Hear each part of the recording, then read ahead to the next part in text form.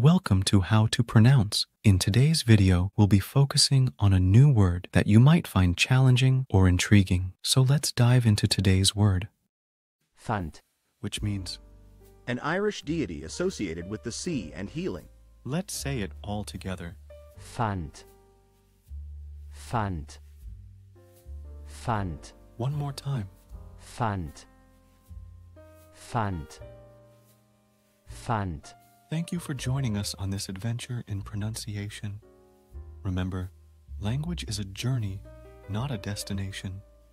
Keep exploring, experimenting, and expanding your linguistic horizons. We'll see you next time.